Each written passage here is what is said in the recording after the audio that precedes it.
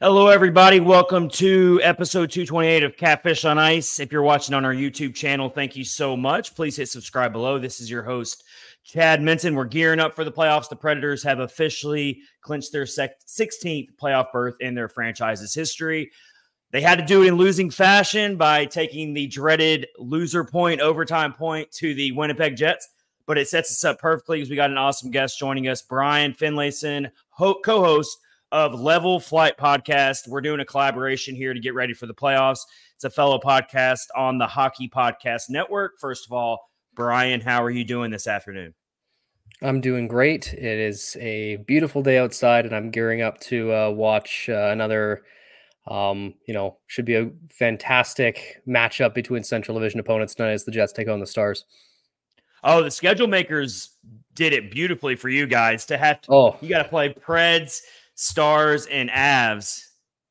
Luckily, you're kind of locked into your spot. We're about to really talk about it. First, first thing we're going to do with Brian joining us today is we are going to look back at Tuesday, that epic meeting between the Preds and the Jets. It was uh, the two teams end up splitting the season series 2 2, separated by only one goal over those four games. So that is pretty incredible stuff there. Um, very unlikely. I think it's almost impossible that the Preds and the Jets will meet in the first round. But I would love to at least talk about that game with Brian from his perspective and a tremendous performance from Connor Hellebuyck, of course. So we're going to break down that game, really what it meant for both teams. Also, what we're going to look ahead to each of our teams' is playoff hopes and chances, where we see each of our teams going, both the teams we cover and the outsider perspective. Want to get into that? Going to talk about some other X factors for uh, both teams. Want to look back at the 2018 series between the Jets and the Predators in the second round because that was the last time the Predators made it past the first round. We're talking about two franchises that have not had a ton of playoff success in their um, history. Of course, the Jets were formerly the Atlanta Thrashers, so we're going to get into that. That'll be a lot of fun. But first, we're going to give the floor to Brian. What what did that game mean to you? How much different was that game maybe from the perspective of the Jets and the perspective of the Predators? Of course, the Predators were still trying to get a playoff spot locked up. The Jets are pretty much locked in in that third place position. What did you get out of that game from the Jets perspective? Uh, from the Jets perspective, uh, I think, I mean, we didn't need the reinforcement of the idea, but it was the fact that regardless of how you play, you have a chance when Connor Hellebuyck's in the crease. Um, and you know, I mentioned this on the last episode of our show where uh, I think at one point the shots I think were 44-18. Um, and you know, that was just after uh, things got knotted up at three. But no, it was it was a very interesting one because the Jets were incredibly opportunistic in the first period. Um, you see what makes them successful when things are really clicking, where um, you know, that first goal with Gabe Vilardi between the legs, roofed it over Saros. Um, but then you have things like, you know, Tyler Toffoli being an impact guy, which they acquired him to do so.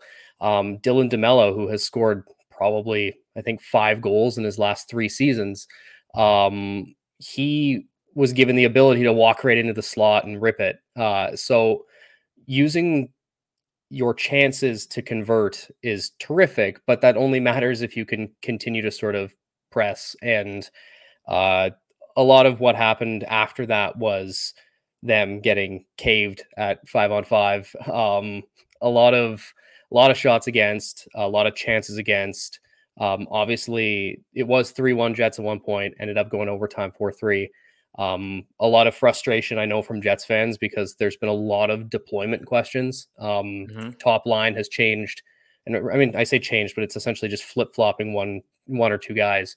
Um, but it it matters a lot to the success of this team. And then obviously they come out with the win, which is huge for that battle for uh, the second spot in the division because you get that, you get home ice, and you get the you know the line matching and that sort of thing.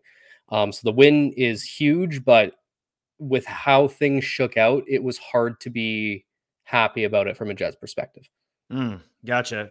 Brian Finlayson, co-host of Level Flight podcast, covering the Winnipeg Jets. Little collaboration we got going on here to get ready for both of our teams' playoff runs to see what happens here. So yeah, I agree with a lot of that stuff. I saw So the Preds came out definitely very too lackadaisical with puck possession. I mean, you cannot do that against a team like the Jets and or any team for that matter, but definitely playoff caliber teams like the Jets. And it, it came back and bit them. A lot of Preds fans were dogging on Saros, pull Saros, get him out of there. And it's like, come on, guys. He's getting no help from from from his line mates who are supposed to be protecting the crease and protect him. But as the game settled down, I definitely saw a little bit more desperation out of the Predators because even though their playoff chances were like 99.9% chance, even if they lost that game, I saw desperation and it was it was definitely refreshing to see them storm back in that third period. But let me just say this. I don't think the Jets are getting nearly enough love for their uh, playoff chances. They're definitely getting overshadowed by our two other Central Division counterparts that are in the playoffs, the Stars and the Avs. But just exhibit A, as you just mentioned, Brian, Connor Hellebuyck was just so frustrating from a Predators perspective. But I mean, it's nothing new to me. The guy has just been doing this for a while now. He's the workhorse, just like Saros has been. Two very different style goalies, but equally workhorses for their teams. Um, so I got to ask you, uh, what realistically speaking, do you feel like this Jets team has the full ingredients to um, to make a run at the Stanley Cup final? Um, I mean, I, I feel like I have to preface it where they have they have the ingredients, hundred percent. Um, but I think it's how you use them that's going to be the you know defining factor as to whether or not this team is a Stanley Cup contender or if they're a team that has the potential of being you know bounced out in the first two rounds. Um, you know, I mean, for example, late last game, um, coincidentally, right when uh, the goals actually started coming for the Preds, um, Rick Bowness, the head coach, uh, he went back to his quote unquote old faithful because uh, he saw that the the other top line was struggling, and that is uh, the top line of Kyle Connor, uh, Kyle Connor, Mark Scheifele, and Gabriel Vilardi. Um, they've played almost 160 minutes together this year, and they have very rarely won their minutes. They have been outchanced, they have been outshot, they have been outscored, um, and we're seeing that despite all that, the coaching staff trusts them to be the top line. Um, I don't trust that line being able to make as big of a difference in a playoff environment. Like I'm just, I mean, at this point, it seems almost like confirmed that they're playing the Avalanche in the first round. Uh, I can only assume you're putting your top line up against their top line, and I worry because of the defensive struggles they've had, um, what Nathan MacKinnon's going to do that line. Like it feels like a field day for him, but I feel like if they're deployed properly, like at their best, the Jets had a top line of Nikolai Ehlers, Mark Scheifele, and Gabe Vilardi. And then they recently were running a great second line that uh, had Kyle Connor down there with Sean Monahan, their other uh, deadline acquisition, and then Cole Perfetti, uh, who is the Jets' first round pick from a few years back, 22 year old. He's very skilled offensively, but he has drawn the ire of the coaching staff. Uh, he's been in and out of the lineup, but they finally gave him a shot to show up in the top six. That line was playing great. They had one. I mean, everyone struggled. Uh, you know, especially like in terms of what they were giving up against uh, the Preds on Tuesday there. Um, but for some reason, some guys dealt more with that. They swapped the lines. Perfetti actually is not in the lineup tonight against Dallas. Um, and I think that being too reactionary and taking that top line and you know putting it back to what wasn't working uh, compared to what I mean, they won they've won four straight games with the lineup they started. Um, and they had lost six straight prior to that with the lineup that they're going back to. So I'm not quite sure I trust the lineup to pull it off in the playoffs. But then you you got Connor Hellebuyck who could steal you a game or two, which keeps you in it. So I think they've got the ingredients. They just have to put them together properly. now we we me and my co-host Max Greenberg we have uh, debated this exact topic um, in previous episodes. I want to get your thoughts from the Jets perspective. Who would you rather face in the first round, the Avalanche or the Stars? Who do you think you match up better against? I definitely think the Avalanche, and I know it's weird saying that against a guy like Nate MacKinnon, who is my Hart Trophy pick. Um, you know, seeing what he did against the Wild the other night, it was like watching you know someone going up against you know pee wee hockey players, just how fast mm-hmm. he was going around guys. But I think I, I don't trust them as much against Dallas's style and just overall makeup of their team. Uh, Dallas has the chance to sweep the Jets in the season series tonight if they uh, they manage to pull that off. Um, but Colorado, if you look at their depth chart, they are not nearly as deep a team. Uh, they rely a lot on their top line for their offense and their top defensive pairing, obviously with Cale mm-hmm. Makar and uh, Devon Toews. Um, but you look at the rest of their lineup, where obviously they did acquire Casey Mittelstadt to play that second line role, but you've got you know Zach Parise playing on your third line uh, after not even starting the year on a team. You've got uh, you know Andrew Cogliano still down there, so you've got a lot of older, a little bit slower guys. Uh, they're not going to score uh, as much as you know another third line would. Um, and I mean, let's be honest, Alexander Georgiev and net hasn't been exactly the most steady for them either. So I do think that the top lines, um, Colorado wins that battle. But the rest of the team, if they're deployed properly, I, I like the Jets' chances to outscore their other lines um, and they can make up for anything that possibly goes wrong against the top line with MacKinnon. Um, and then obviously, I love the goaltending. Um, that that's the, the, matchup there is clearly in the Jets' favor um, because I don't know how Colorado can go into a series and totally definitively say, "Oh, yes, Georgiev's going to lock it down." And that's the same argument I made with my co-host as well. He said he would much rather face Dallas. Um, I said I'd, I'd I did not say I'd much rather face. I mean, you're picking your poison either way, but yeah. I, I kind of I sided with you uh, as well, Brian. Same reasons. I don't trust Alexander Georgiev uh, to not just possibly lose a game or two for the Avs, where the Avs would come out and you know have a good game, and then as you just alluded to, I do think Colorado is much more top heavy than Dallas. Dallas's depth scares scares me, and it really leads me to believe that they can definitely win a Stanley Cup this year with with that kind of depth. I think they're extremely well coached. They're really good on special teams. They're a very disciplined team. You're going to have to go out and take it from a team like Dallas. They're not going to give it to you. They're not going to make very many mistakes. Uh, whereas Colorado, you know, they're going to pretty much have to lean on their top two lines and Cale Makar to just go out there and just have a, a playoff run for the ages. Um, I don't think they're as good as they were the year they won the Stanley Cup. Uh, I, I, I, just don't think they're quite that good. But either way, you're picking your poison. It's going to be tough. But let's look at it, the overall uh, Western Conference landscape. And first, Brian, uh, host of Level Flight podcast covering the Winnipeg Jets, give me your outsider perspective. You're not going to hurt my feelings. Trust me. Give me your outsider perspective on the season the Predators have had because the overall, you know, they're kind of like the flavor of the month right now around the NHL. When you have an 18 game point streak, that'll happen. Um, they're getting a lot of love.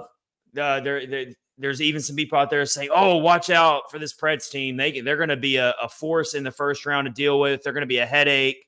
All this stuff." So are you buying the Kool Aid, or do you think the Predators maybe peak too soon? They're a fun story, but they're probably just a little ahead of schedule, and they're going to get uh, exposed in the playoffs. What do you think, man? Um, I, I mean, I feel like it's a bit of both because when there's a level of extremes like that, it's hard to sort of pull any sort of negatives out of a, an 18 game, you know, point streak. But it's also you know hard to judge them right after that and say this is a completely different team that you've just seen for the last 18 games.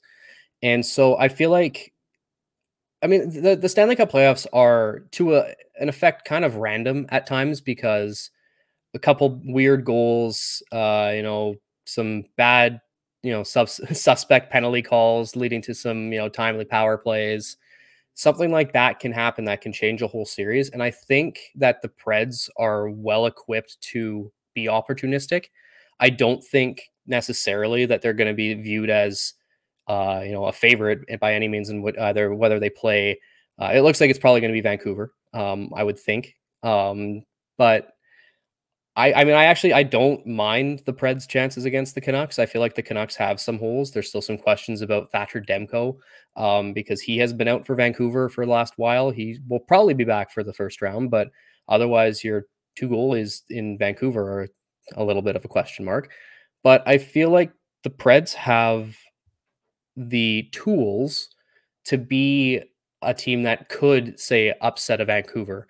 Um, because uh, regardless of you know what happens in terms of the actual amount of goals he gives up, Saros is going to give you a chance to win most nights. And unless you turn it into a firing range against him, he's usually sound enough that you're going to get that chance. Um, and I think that with Saros and net, and we've seen what happens when things click up front uh, for you know offensively for the Preds. It's it's it has the makings of a team that could make a surprise run at least through the first round. Mm-hmm. Um, but it, I think it does have to be how much can go right for them for them to unseat it versus how much can go wrong to make it go a very quick exit. Yes, I agree with all of that. I really do. Um, so here's why I am very cautiously optimistic about the Predators being able to do something similar to what they did in 2016-17 when they when they made that magical run to the Cup final. They um, they do have lines one through four that are pretty set. There's not a lot of fluidity going on right now. I mean, Andrew Brunette's pretty much kept his lines consistent. And the team has also been very fortunate on the injury front for the most part. They did go through a rash of injuries with their defensemen there for a little bit. But overall, this team has been gelling for a while. The chemistry is there. Lines one through four, there's not a huge drop off. Their top line with Ryan O'Reilly and Filip Forsberg and Gus Nyquist, I'll put them up against almost any top line in the playoffs. I'm not saying they're the most elite, but productivity wise and how much they've played together is, I think, second most ice time in the league eh, among top lines, only behind um, the New York Rangers' top line. So they've played all this time together. That's going to do wonders for a playoff series. Ryan, uh, you've got the playoff pedigree with Ryan O'Reilly Luke Schenn, Gus Nyquist. You got a lot of guys who've got playoff battle tested experience. My biggest thing that I am really, really worried about with this Preds team is are they going to be able to live up to that elite level of special teams play?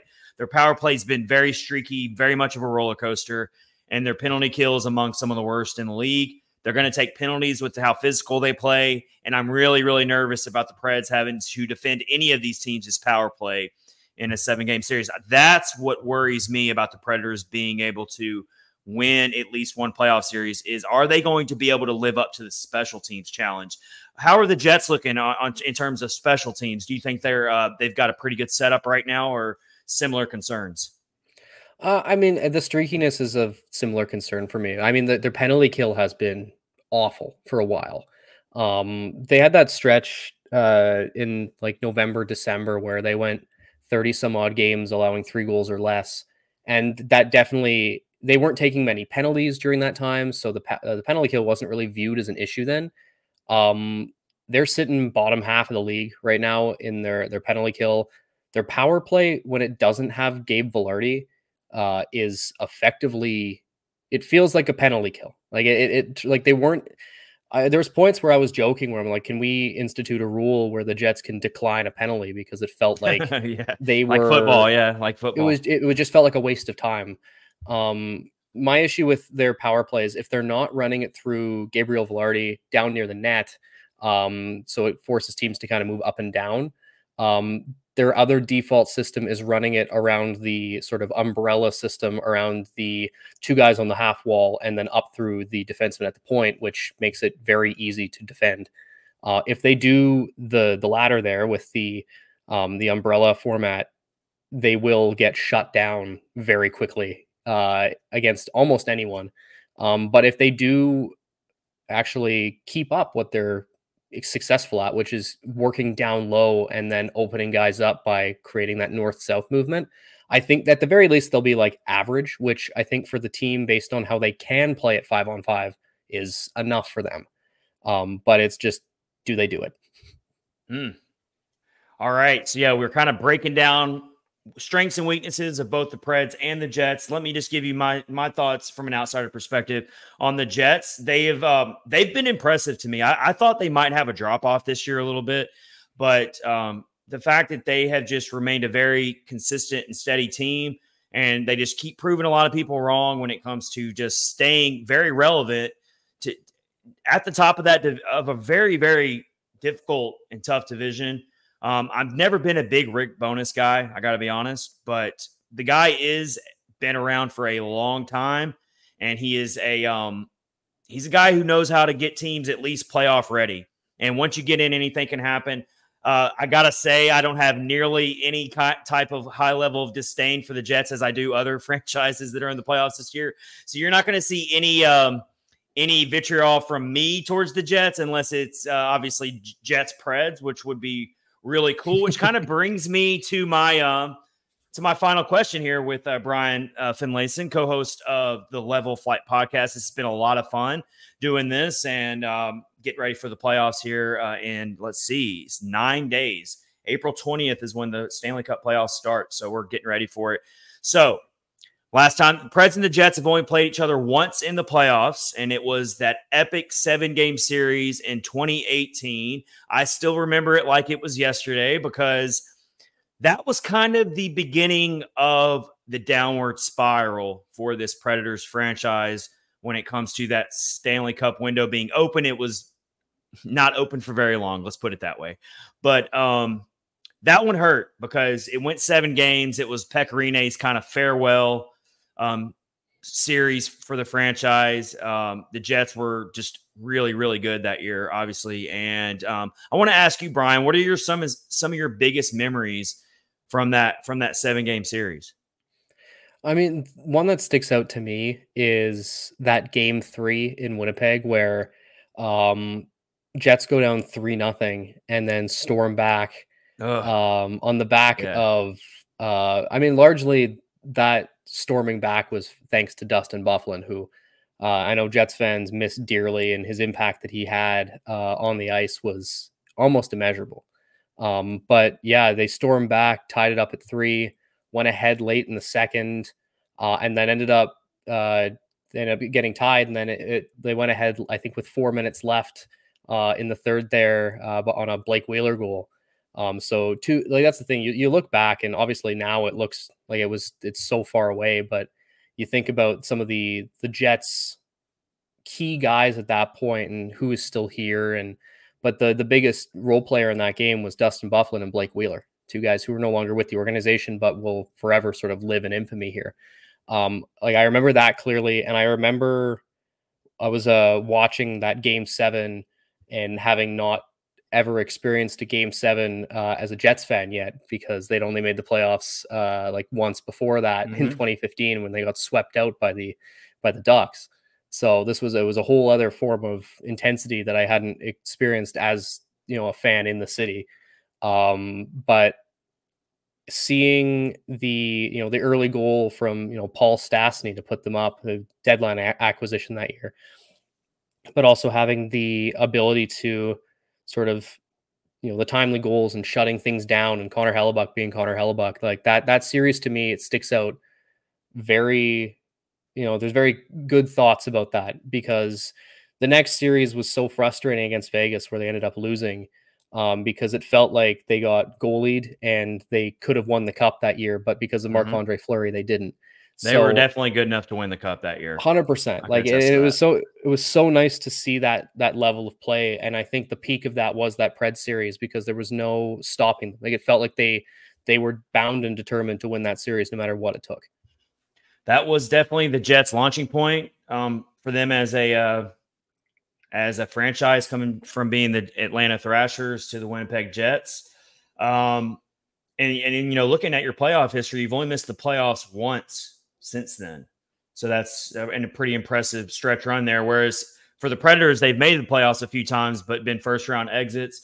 Um, but both both franchises are, if you count all the way back to the Thrashers, both franchises are still relatively young in their NHL history, and they're just hungry to give their fan bases um, their first Stanley Cup. You know, I mean, I know the.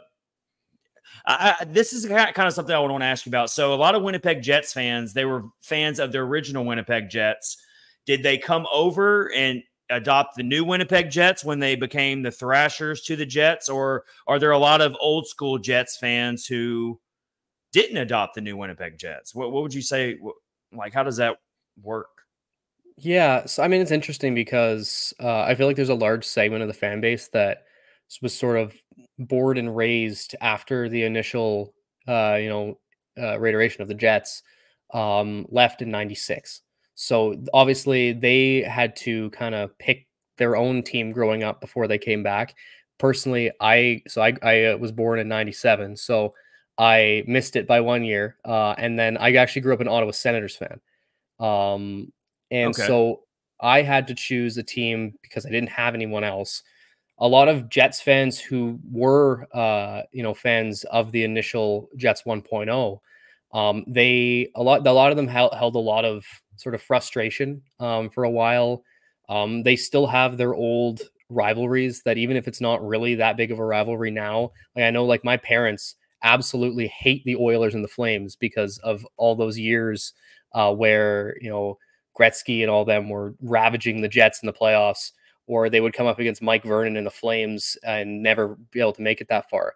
But I know a lot of them adopted different teams for a while. So I think that's why when other teams, especially original six teams, I know a lot of fans that grew up Leaf fans when the Jets left. Um, okay. But I do feel like unless those teams are playing those respective teams, uh, anyone who was the 1.0 fan has hopped on board. So yeah. it's it's not something where it's like they left and then came back and they lost that group. It, everyone was waiting for it. They they, just, they really wanted that team to come back, and they I don't think there was any you know doubt that they were going to be the Jets. Um, and I know there's also a large portion of the fan base who uh, refuses to acknowledge the the Thrashers records because it doesn't feel right to them. Mm. Um, because I know there's a lot of times where you'll see like Ilya Kovalchuk's name pop up mm-hmm. in the record books, and then people will get angry about that, and they'll you know point to the you know the Selanne days, uh, you know Dale Hawerchuk, um, you know the legend of him in this city. Uh, it it matters a lot to people, and I feel like people have hung on to that a lot. And you know, the more successful this team is over a long period of time, it feels like a bit of a melding of those those fan bases. But there's definitely still you can tell the people who were massive fans before and those who never had that opportunity. Yeah, very interesting. And you know, it's something you don't see in sports very often, but we could have a similar situation unfolding here with this uh, latest breaking news of, of um, the Coyotes relocating to Salt Lake City, which is just so weird. We'll see how that works out, but um, but there's always that potential that the NHL expands to 34 teams and they put it they stick another team in Arizona because you know the NHL says they're committed to keeping a team in Arizona. So just that could happen down the road where a new Coyotes 2.0 is created, kind of like the Jets 2.0. But uh, yeah. Brian, this has been really fun, man. Uh, best of luck to your Winnipeg Jets. This has been awesome. Really breaking down um, all of your knowledge about the Jets and the playoffs coming up. Really appreciate it, man. Yeah, well, thank you for having me. And, uh, you know, as you said to me, best of luck for uh, you and the Preds. Um, it's sure to be a, it's set up to be a really good first round. So I'm just looking forward to a lot of great hockey.